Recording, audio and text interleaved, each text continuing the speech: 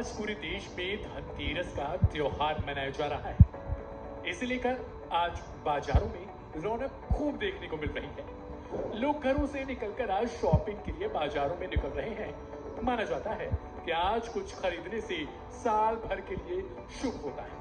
बता दें कि दिवाली से ठीक दो दिन पहले धनतेरस का त्योहार पड़ता है। ऐसे में इस दिन सोने और चांदी के गहने को खरीदना बहुत शुभ माना जाता है।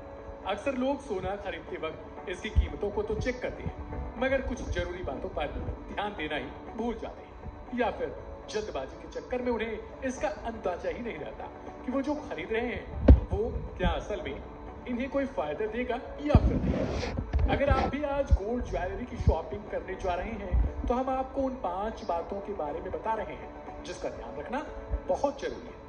सोने की बढ़ती कीमतों के कारण मार्केट में फेक ज्वेलरी भी बहुत तेज़ी से बिकती है। ऐसे में सोना खरीदते वक्त कुछ बातों का ध्यान रखना अति आवश्यक है। जानते हैं इस बारे में। सबसे ज़रूरी और पहला पॉइंट है कि बीआईएस के नियमों के मुताबिक अब मार्केट में कोई भी ज्वेलर बिना बीआईएस हॉलमार्क के सोने के गहने नहीं बेच सकता है।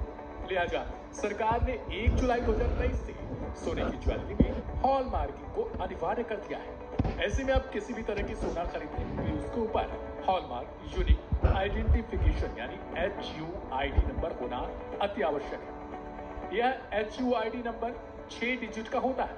आप B I S care app पर भी जाकर सोने की शुद्धता को चेक कर सकते हैं। दूसरी ज़रूरी बात होती है कैरेट साफ़ है कि सोने की शुद्धता को हमेशा कैरेट में मापा जाता है। सोना 24 कैरेट 22 कैरेट 18 कैरेट 16 कैरेट आदि में बिकता है।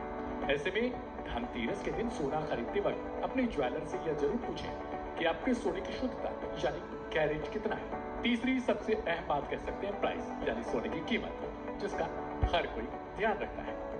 गोल्ड की शॉपिंग के लिए निकलने से पहले अपने शहर के ताज़ा गोल्ड रेट को ज़रूर चेक करें। ध्यान रखें 24 कैरेट 22 कैरेट 18 कैरेट सोने की कीमत अलग अलग होती है। 24 कैरेट सोना सबसे शुद्ध माना जाता है, इसलिए इसकी कीमत सबसे ज़्यादा होती है। धनतेरस और दिवाली के मौके पर ज्वेलर्स ग्राहकों को आकर्षित करने के लिए गहने के मेकिंग चार्ज पर स्पेशल छूट देती है। ऐसे में आप सोने की शॉपिंग करने से पहले मेकिंग चार्ज के बारे में ज़रूर पूछ। लें कई ज्वेलरी ब्रांड अपने कस्टमर्स को धनतेरस और दिवाली के खास मौके पर मेकिंग चार्ज में 25 से 30 फ़ीसद तक की छूट देते हैं।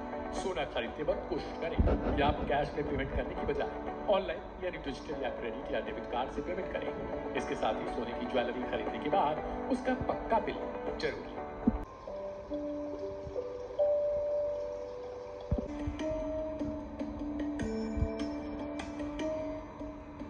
देश भर में आज धनतेरस बड़े ही धूमधाम से मनाई जा रही है। इस दिन को धन त्रयोदशी और धनवंतरी जयंती के रूप में भी मनाया जाता है। धनतेरस से ही दिवाली के पाँच दिन के त्योहार की शुरुआत होती है। धनतेरस पर सोना चांदी खरीदना शुभ माना जाता है। लेकिन अगर आपका बजट सोने और चांदी की चीज़ें खरीदने की इजाज़त नहीं देता तो भी परेशान होने की ज़रूरत नहीं है। ऐसी सात चीज़ें हैं जो माता लक्ष्मी को अति प्रिय है, जिन्हें अगर आप आज अपने घर लाते हैं तो धन लक्ष्मी आप पर प्रसन्न रहेंगी। झाड़ू को माँ लक्ष्मी का रूप माना जाता है। क्योंकि झाड़ू घर की गंदगी को बाहर निकालती है। गंदगी को दरिद्रता माना गया है। ऐसे में झाड़ू को पूजनीय माना जाता है। यही वजह है कि धनतेरस के दिन लोग झाड़ू को घर में लेकर आते हैं। गोमती चक्र माँ लक्ष्मी को बेहद प्रिय है। धनतेरस के दिन गोमती चक्र खरीद कर लाए और दिवाली की रात को जब माता लक्ष्मी का पूजन करें तो गोमती चक्र की भी पूजा करें। बाद में इसे धन की तिजोरी में रखते हैं। धनतेरस के दिन धनिये के बीज लाना भी काफ़ी शुभ माना जाता है।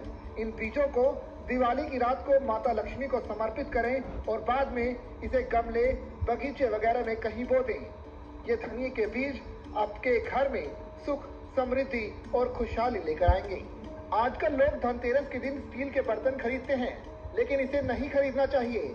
इस दिन पीतल के बर्तन खरीदना शुभ होता है। तो खरीदते हैं झाड़ू। झाड़ू खरीदने का सही समय क्या है? 10 नवंबर को पूरा देश धनतेरस का पर्व मना रहा है। यूँ तो धनतेरस पर सोने चांदी की चीज़ें, बर्तन आदि खरीदने का महत्व है, लेकिन इस दिन झाड़ू खरीदने का भी विशेष महत्व है। आइए जानते हैं कि आखिर धनतेरस के दिन झाड़ू क्यों खरीदते हैं और झाड़ू खरीदने का सही समय क्या होता है। बता दें कि धनतेरस के दिन झाड़ू खरीदते समय कुछ नियमों का पालन ज़रूरी है। अन्यथा लक्ष्मी माता प्रसन्न होने की बजाय भूट सकती हैं।